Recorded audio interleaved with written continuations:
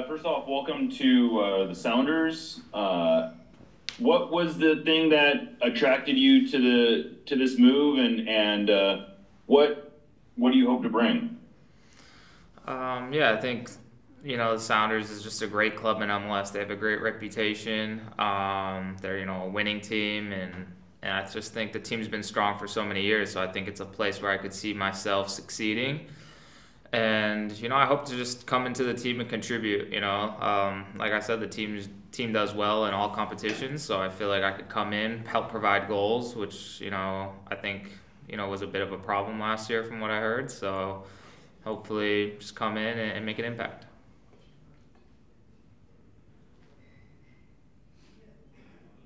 Hi, Danny. Uh, Jayda Evans with the Seattle Times. Um, how has the week been um, in getting getting uh, situated with the with the new uh, offense that you're going to be a part of, or just getting adjusted to, to the uh, the tactics that the Sounders are using? How is that? How have you been uh, adjusting in that way?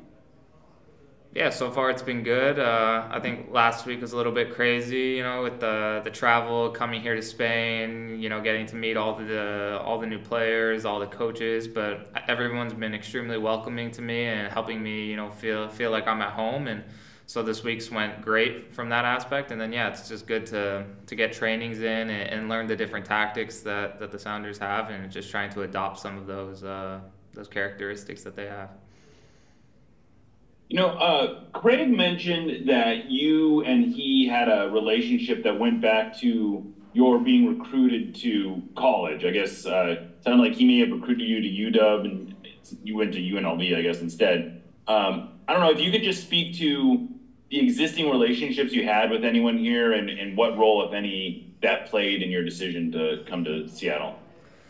Yeah, well, yeah, there was a few relationships. Um, my old, um, my college coach played uh, with Schmetzer, so you know Schmetzer, so I heard good things about him. Um, I played college soccer against Alex Roldan for four years in, in the Western Athletic Conference, so I knew him.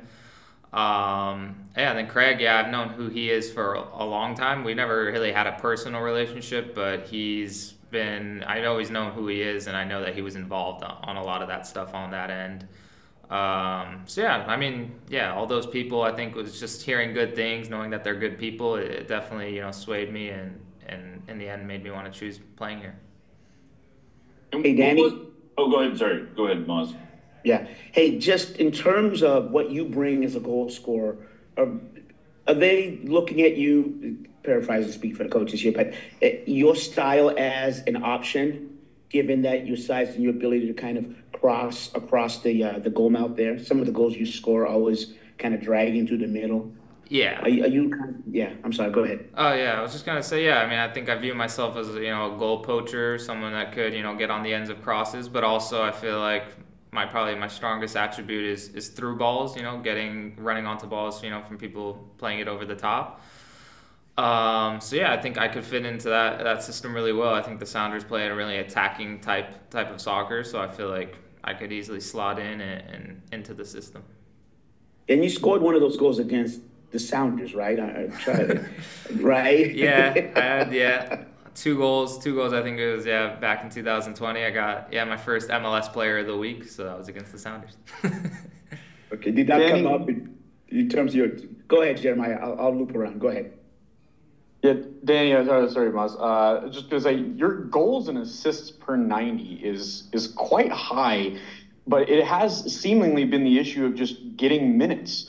Um, have you had conversations about what more you can do to, to up the minutes from from recent years at Salt Lake and LA, and and kind of what your role can be here to to get more minutes? Yeah, I think that's definitely something I want to do this year. That's what I'm pushing for and aiming for. And I think, yeah, you know, coming into the league not as, you know, a superstar player, I came into the league, you know, out of the USL back in 2020. So it's hard to get to get minutes when you're competing with guys like Carlos Vela, um, you know, Diego Rossi, and, and these big players that they pay a lot of money. So I feel like that's where that challenge came from was getting the minutes initially. But I feel like from my whole view and philosophy of it is I just try to do the best on the field with what I'm given. And so yeah, I mean I'm happy with you know the results I've been putting out there and obviously the goal is you know I want to I want to play a whole season. I want to play full you know 3,000 minutes, you know 34 game season. That's my goal, you know, and we'll see obviously how that plays out. There's, we have a lot of great players here as well, and I know you know it's tough to, to come and get minutes in this league, but of course I'm going to try my best to to get the most that I can. You mentioned a second ago playing against Alex uh, with Seattle U when you were UNLV. Mm-hmm. Uh, what what was that like back in college? Did you did you facing him? Did you kind of already know? Oh, this guy's got a got a career ahead of him. Yeah, I think so, especially because his brother was already well established in the league at the time. So I think uh, everyone know who who Alex was, and he was definitely one of the top players at Seattle U, and he was always on the scouting report. Um, and then yeah, and then also we were in the same draft class together, so we actually caught up and built a little bit of a relationship then as well. So now it's cool that you know, six seven years later now we're we're on the same team. As a goal scorer. Go ahead. Go ahead. Thanks. As a goal scorer, I mean that balance in terms of not putting pressure on yourself but obviously wanting to instant offense, if you will. You know what I'm saying? In, in executing, how do you balance that? Um, yeah, I think it's tough, but it's something that you develop over many years of practice, and and there definitely is pressure, but and I do think a little bit of pressure is good. So I like to you know, I, am definitely would say I'm a very harsh critic on myself because I want to, to do the best that I can. But also, like you said, it, it's about finding a little bit of a balance between you want to do well, you want to score every game, but also understanding that sometimes it's not going in or sometimes it's off, you know. So it's, yeah, it's about literally striking that balance right there in the middle. And then I feel like when I'm in that middle zone is when I'm playing my best. I, Danny, I know you talked about this a bit when you left RSL, but can you give us a little bit more about your perspective on how things ended and and sort of your I don't know if you learned anything from that whole experience? Yeah, I mean, I don't want to go into too many details with it because there's still people there involved. But from my standpoint, I love the team. I love the players. I love the coaches. Um, you know, looking back, you know, could things have been handled differently on both sides? I think so. But at the end of the day, I wish them the best, and I'm happy to be here in Seattle now, and, and there's no hard feelings for me. So it was just, uh, yeah, just it, it could have been handled differently on both sides, and, and that's that. Hey, Danny, welcome to the Sounders. Um, question for you. This has been a bit of a truncated trip for you and a bit of a whirlwind as well, uh, coming late. But what has the last week been like? Being in Spain, being with the guys, and, and getting to know your new team? Yeah, um, yeah, it's just been a crazy week. You know, uh, signing signing with the Sounders, then finding out that you know they're in Spain for preseason, having to you know get on a plane uh, and then travel you know across the world it's been yeah crazy week but like i said the team has done a great job of making me feel welcome making that transition as easy as possible and and honestly now i'm, I'm ready to go back to seattle and kind of see where i'm going to be living and, and look for a place to, to settle down Danny, I haven't seen all of the uh, lineups, but from today's scrimmage, uh, what what do you guys kind of get from that? Um, and I didn't, I didn't, when I say the lineups, I didn't see if you were actually able to participate in any one of those friendlies.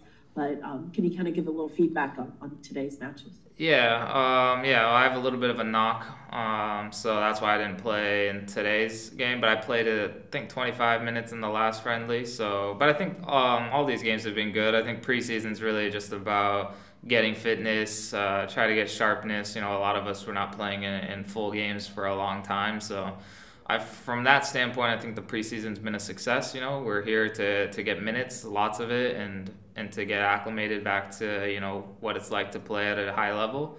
So from that standpoint, it's been really good. Danny, you sort of alluded to this a little bit, but uh, how did the how quickly did the the deal come together? Like, was this something that has been in the works with your involvement all off season, or was it something that maybe came together uh, closer to the actual signing? Um, I would say somewhere in the middle, or it was maybe around Christmas time where I was hearing rumors that, that it could possibly be happening, but I was talking to a few other teams as well and kind of narrowing down what I think would be the best fit for me and what would be the best option. And then, you know, maybe a week before it was announced, I don't remember the exact date, but we had we had negotiated with Craig and, and came to a deal, and then it was done. And then I was figuring out I was coming to Spain for preseason. So I guess you didn't know, you didn't really know, like you weren't mentally prepared to be coming to Spain up until the point that you, like you basically had to just pack bags and, and head out. It sounds like. Right. It was like I, was- I was going to be signing with the team and then figuring out that I was going to be hop- hopping on a plane to Spain. So yeah, it was all it all happened pretty fast. Yeah. Thank you. Yeah. Any other final questions for Danny here? Oh, Danny, what, where, where were you at that time when you knew you had to, to hop the plane? What city did you come from? Uh, I was I was in Salt Lake City, so I was still there, just in my apartment. Uh, yeah, and then I got the call and was very happy.